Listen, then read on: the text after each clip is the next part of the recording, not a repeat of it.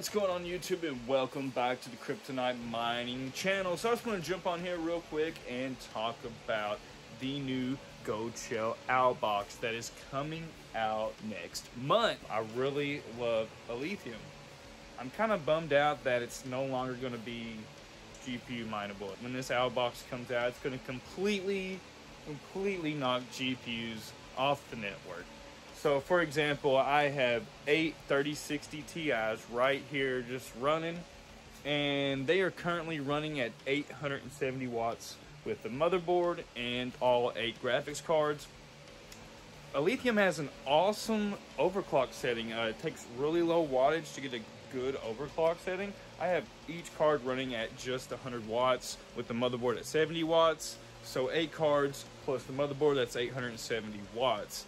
Now, this freaking owl box right here is coming in at 180 watts. So literally pretty much one of my cards and the motherboard. I'm getting 10 and a half gigahash. 10 and a half gigahash versus 360 gigahash.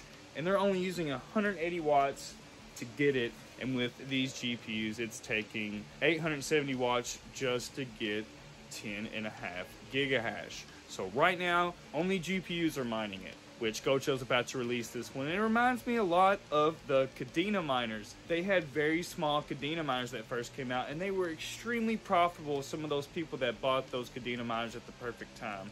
And then, of course, they come out with bigger monster Kadena miners, KA3, and other Kadena miners. The same thing's going to happen with this Alephium miner. Makes it so frustrating when Bitmain, Goldshell, and these, these ASIC miner manufacturers sit there and purposely make these smaller machines because obviously they're in they're in it to make money.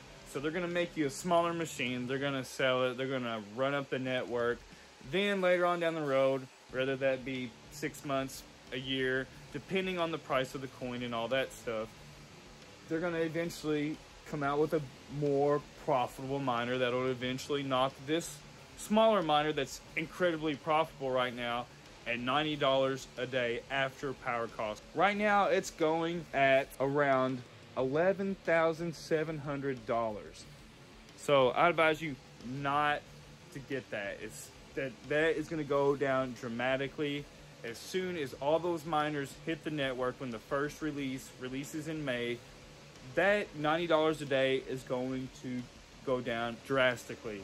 So please check out this video right here so you have good insight on exactly what you need to do before you purchase an ASIC miner and what type of thought process you need to be in before you purchase one of these. Anything you see on my channel is not financial advice.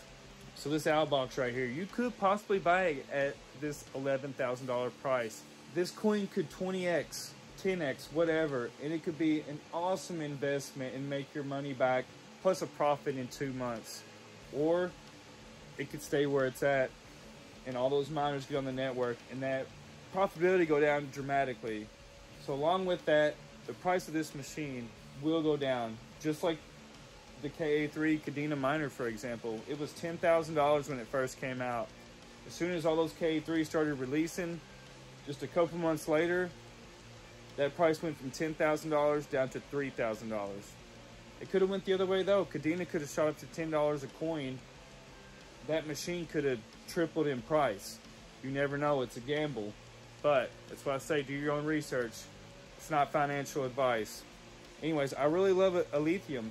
You know, I may pick up one of these miners when it goes down in price. I might trade some Ethereum for this miner if it goes down to that two to three thousand dollar range. But once again, that all depends on where the price of the lithium goes. You know, I really love lithium. I think it's an awesome project.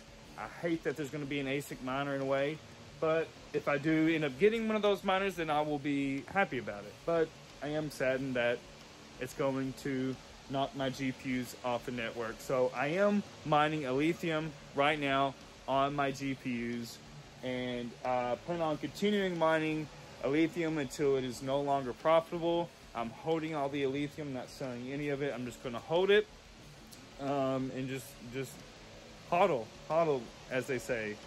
I'm not selling any of it. I'm hodling it and we're just gonna see how it goes. But as soon as Alephium is no longer profitable with GPUs, I'll just probably head over to WhatToMine and start mining one of those PAL coins because it seems to be the thing that's pumping right now.